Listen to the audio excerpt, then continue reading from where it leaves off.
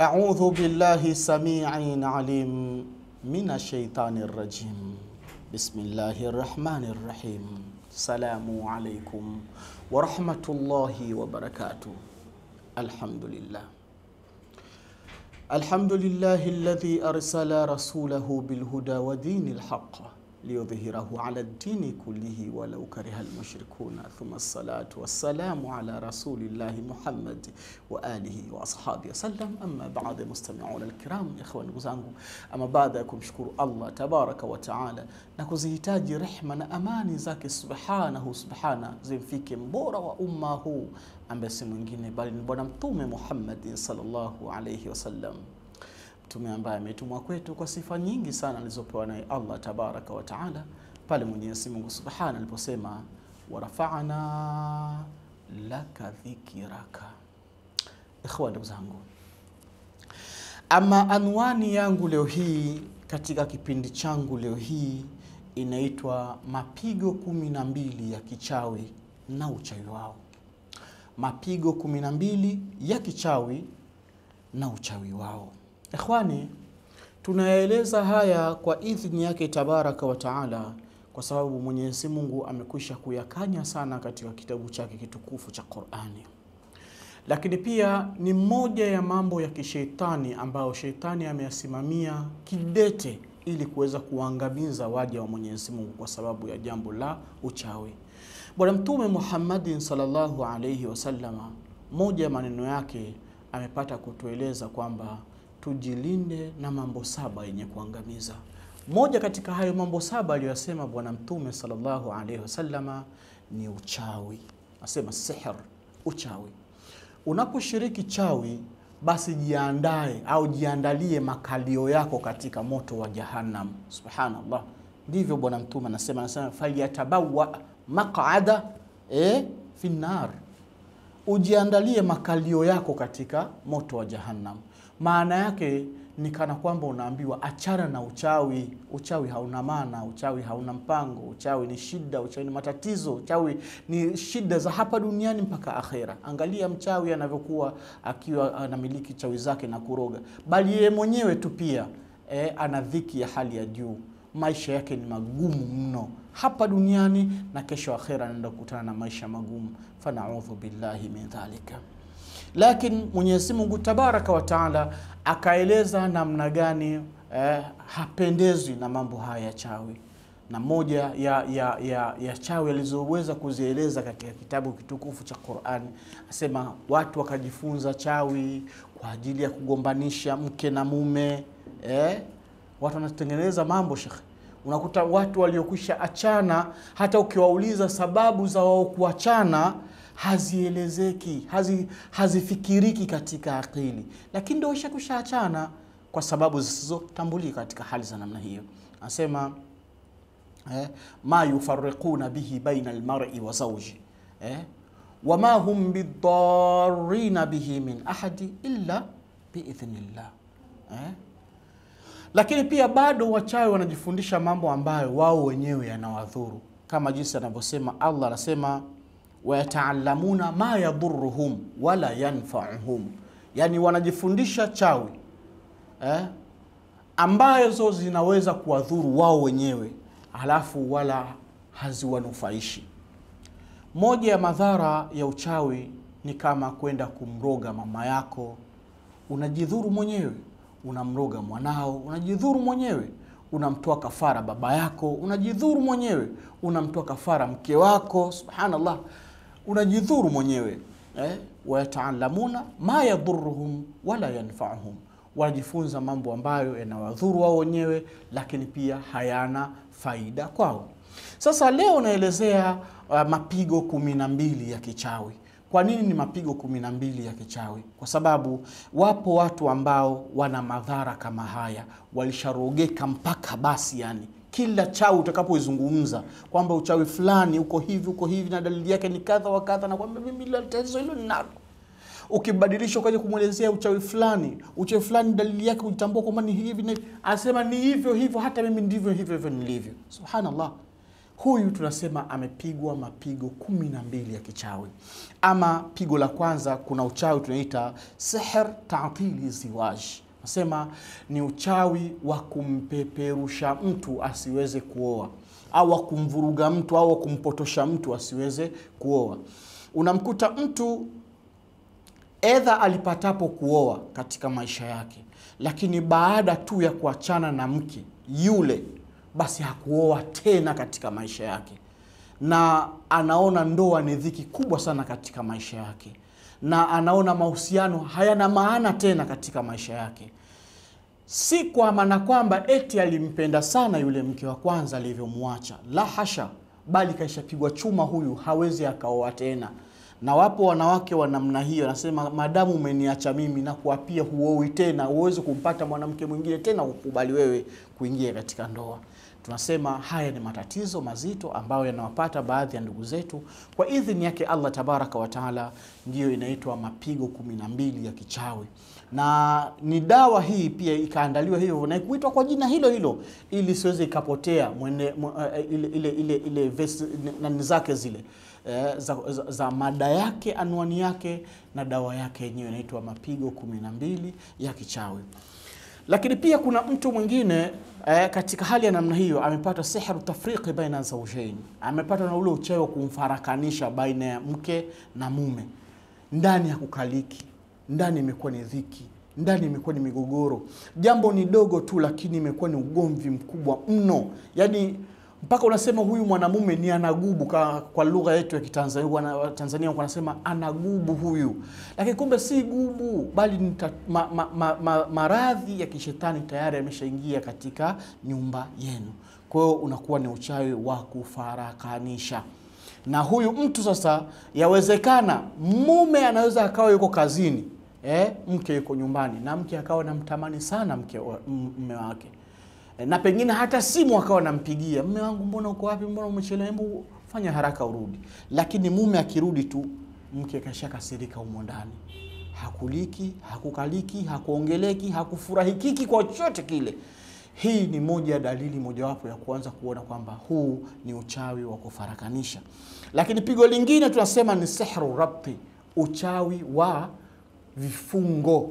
Mtu kafungwa mafungo ya aina mbalimbali kafungwa riziki yake, kafungwa ndoa yake, kafungwa maisha yake, kafungwa mali yake, kafungwa kwa marafiki zake, kafungwa kwa ndugu zake, kafungwa kwa wazazi wake, yani kila sehemu kafungika. Hana rafiki huyu, hakuna rafiki ampendaye kwa sababu ya vifungo.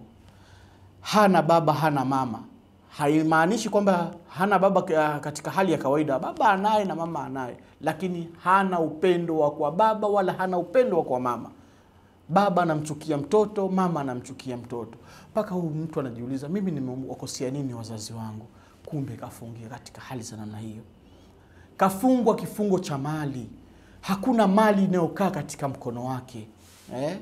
Jamani, mali mali si, si, si pesa Eh, mali ni kama vile majumba, mashamba, ndio hivyo vinaitwa mali eh. Kwake hakuna kinachokaa, vyote amesha kushauza, kauza kimoja baada ya kingine, mpaka leo hii hana mali ya aina yoyote ile. Kifungo cha maisha, maisha yake haeleweki. Unasema sihru rabti ni pigo la tatu hili, ama kuna pigo la nne ambalo yote haya yanaenda kuteguliwa na kuondokewa eh, kwa dawa yetu hii inaitwa mapigo kumi na mbili ya kichawi. Kuna pigo lingine ambalo ni pigo la nne, tunasema ni sihri takhyil eh, yani ni uchawi wa takhyili. Pamoja na kwamba mtu amepigwa mapigo yote hayo, bado kuna pigo lingine, pigo la takhyili, yani mauzauza huyo mtu anapokuwa merogwa uchawi wa namna hii, utamkuta ni mtu ambaye anaona mauzauza, anasikia mauzauza, anahisi mauzauza. Yani anaweza akawa yuko nyumbani kwake, lakini akahisi sitting room kama kuna watu huko, kuna michakato, watu wanatembea tembea huko eh? Au akahisi tu amekaa, akaona kama kivuli kimekatiza, kama nimemwona mtu amepita hapa. Yani hebu hebu angalia hapo sitting room, hakuna mtu kweli hapo? Ukiangalia hakuna mtu inaitwa ni sihr takhyil, uchawi wa mauzauza. lakini tu si mauzauza kwa macho, hata katika mwili wako kunakuwa ni sihri, eh, sihru takhyil. Kwa nini?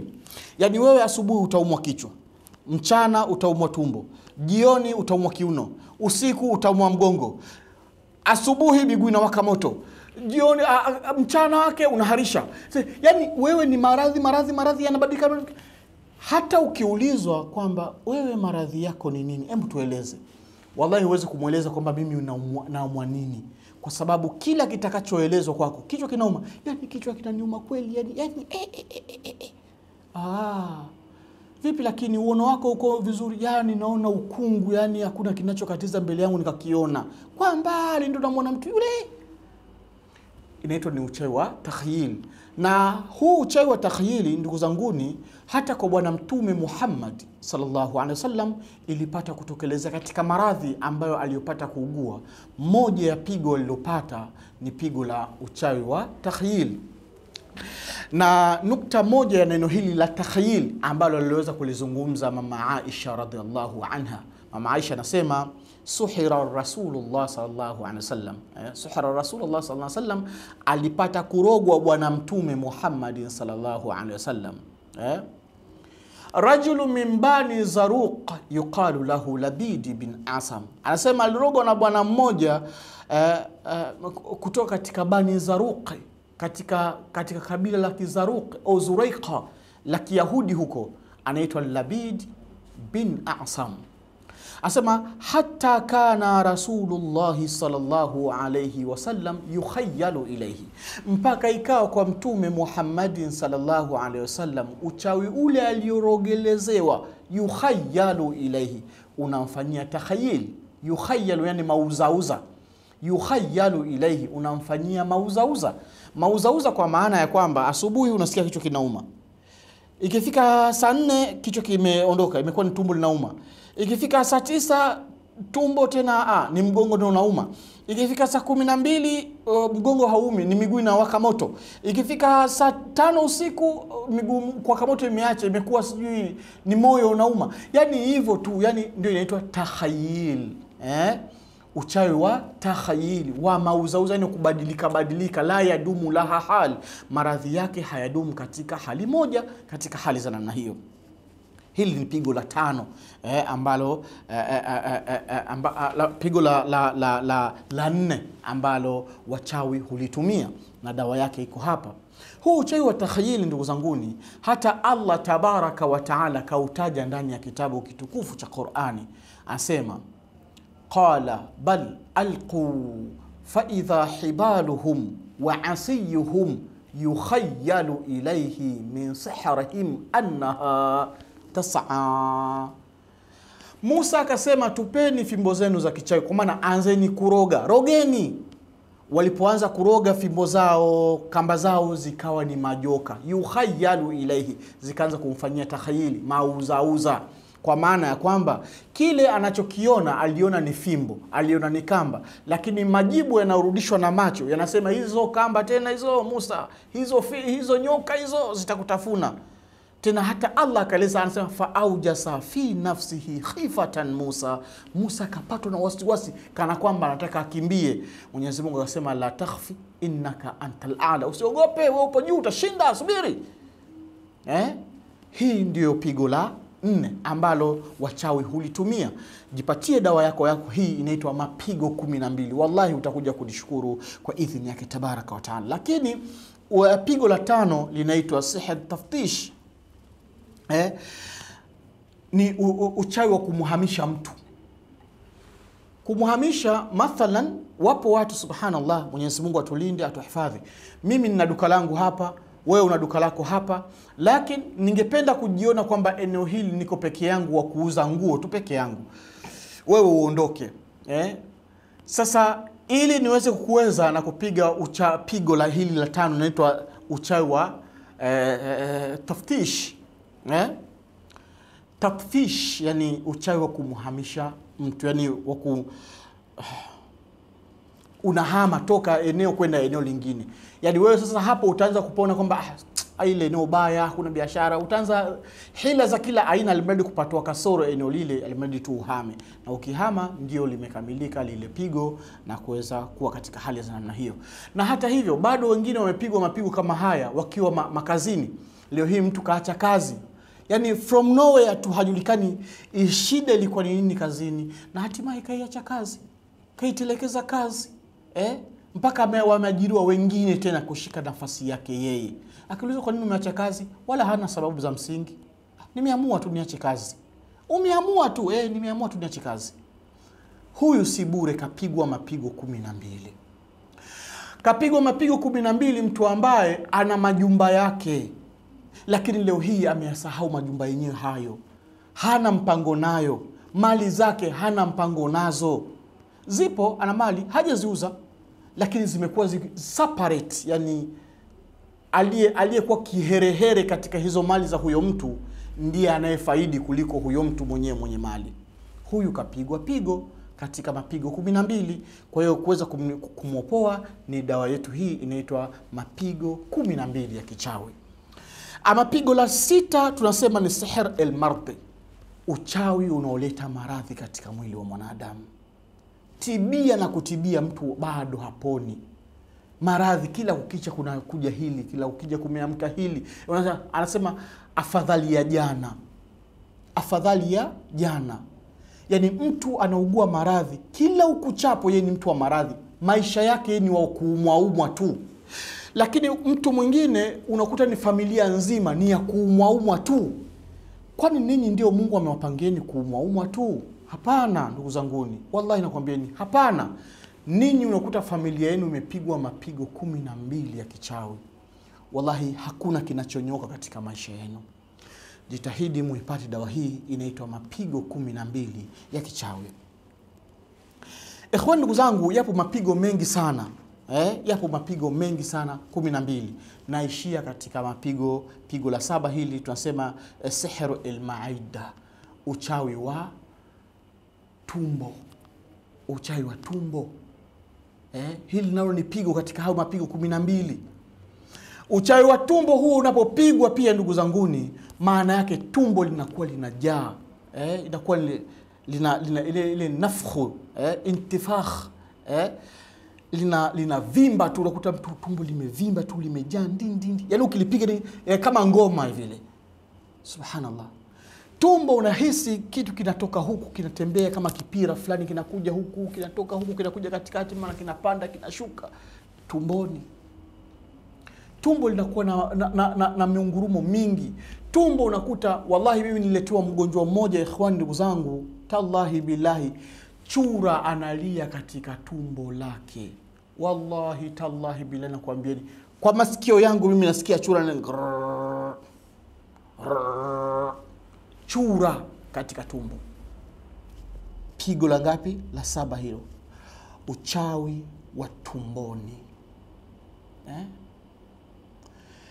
Yapo mauzauza mengi ndugu zanguni, kama tatizo haya hayajawahi kukupata, wallahi usithubutu hata kum, kumbishia mtu maradhi yake Maanake yupo mtu mwingine hata kama hili anaweza akabisha eh, kweli kabisa chura kazungumza tumboni. Ah, hiyo haipo hiyo, hayo maneno tu ya waganga hayo. Ndugu zanguni, ni wahenga wanasema usiruke usi, usimtusimamba kabla hujavuka mto. Lakini wallahi tallahi, dunia hii ina maradhi ya kushangaza na ya kutisha. Almuhimu nakusudia mapigo kumi na mbili ya kichawi na uchawi wao. Dawa yetu hii inakidhi inakava sehemu zote hizo. Jipatie dawa yako hii. Mimi Sheikh Hamis Suleimani napatikana hapa hapa Dar es Salaam, na wewe uliopo Dar es Salaam ni rahisi sana kuipata dawa hii mapigo kumi na mbili. Na wewe ulioko mikoani, wilayani, nipe tu oda yako, nitakufikishia hapo ulipo chap kwa haraka unasema, na mgonjwa wetu akaenda kupona. Lakini pia kwa wale mliopo nchi za nje, nipe tu oda yako pia Eh, naambie ni eneo gani ulipo, tutakufikishia kwa idhini yake tabaraka wa taala. Usihuzunike tena, usipate shida eh, msaada wa Mwenyezi Mungu upo eh, na tiba za Mwenyezi Mungu zipo eh, ponyo ya Mwenyezi Mungu ipo. Maadamu hatumshirikishi Allah tabaraka wa taala katika uwezo wake. Inshallah, mimi nikutakieni kula kheri na niishie hapa kwa siku hii ya leo. Nikutakieni afya njema kwa idhini yake Allah tabaraka wa taala. Inshallah, kwa kusema dumu fi riayati llahi wa amni. Wassalamu alaikum wa rahmatullahi wa barakatuhu.